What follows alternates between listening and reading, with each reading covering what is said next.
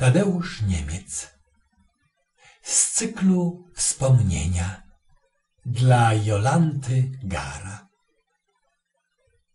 Krutynia jest uznawana za jeden z najpiękniejszych szlaków nizinnych Europy. Jest bardzo ciekawy i zróżnicowany. Przebiega przez Puszczę Piską, a od Jeziora Mokrego także przez Mazurski Park Krajobrazowy utworzony w grudniu 1977 roku.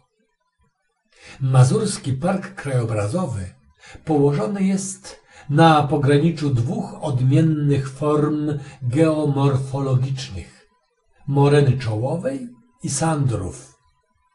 Obejmuje 53 655 hektarów, a jego strefa ochronna ma 18 608 hektarów. Z tego na lasy przypada ponad 29 tysięcy hektarów, a na rzeki i jeziora około 17 tysięcy hektarów. Pozostałość to tereny zabudowane i użytki rolne.